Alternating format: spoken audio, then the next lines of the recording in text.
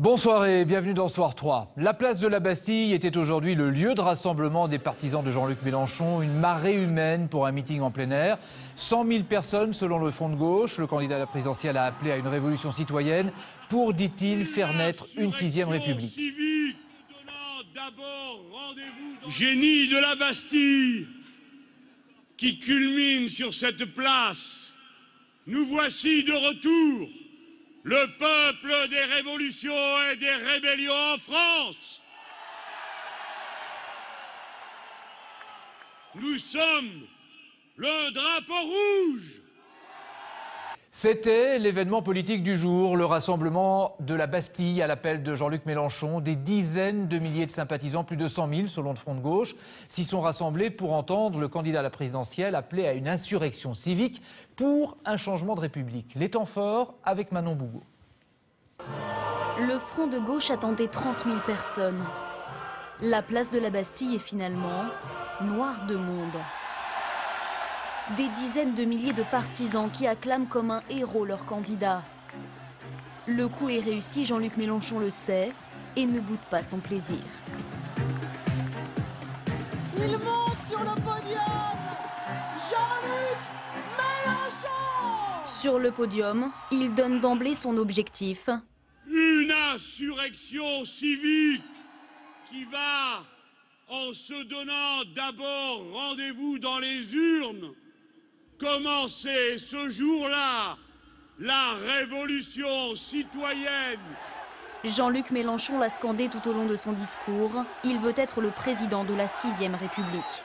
Il nous faut aujourd'hui, dans cette France défigurée par les inégalités, tourner la page une nouvelle fois de l'ancien régime.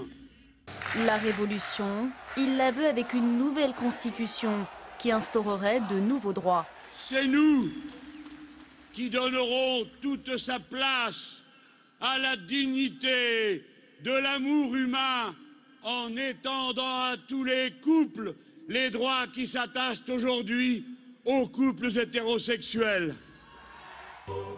Cette journée, à l'évidence, est une réussite pour Jean-Luc Mélenchon et le Front de gauche. Le candidat espère maintenant faire fructifier tout cela jusqu'au 22 avril. Alors dans la foule, il y avait des militants ou des sympathisants venus de toute la France avec des motivations différentes. Federico Nicotra et Mohamed Ouati sont allés humer l'ambiance. Nous sommes innombrables aujourd'hui Mais qui sont-ils, tous ces anonymes venus soutenir le candidat du Front de gauche? Et pourquoi sont-ils venus? Nous leur avons simplement posé la question. Pourquoi est-ce que je suis là Pour la République et pour la liberté? Myriam Salmani, inspectrice sur SAF. On questionne plus, on prend la Bastille.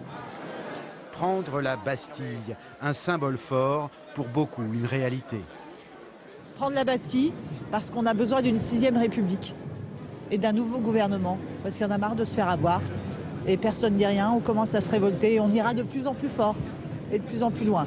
Je suis aide-soignante, je m'appelle Manika. On va dans un mur et donc à un moment donné, il faut renverser le mur et aller au-delà et découvrir ce qui peut s'y passer. C'est à nous de le faire. Si on attend, il ne se passera rien. Philippe Virol, musicien. Le peuple souverain s'avance. Tyran descendez au cercueil. Sarkozy et l'UMP, et puis ceux qui veulent faire une politique avec des nuances près euh, ressemblant à celles de- qu'on connaît actuellement. On n'en veut pas non plus. ça. Jacques, fils de paysan, descendant de la jacquerie. Il faut que ça change, il y en a vraiment ras le cul. Voilà, s'il faut résumer.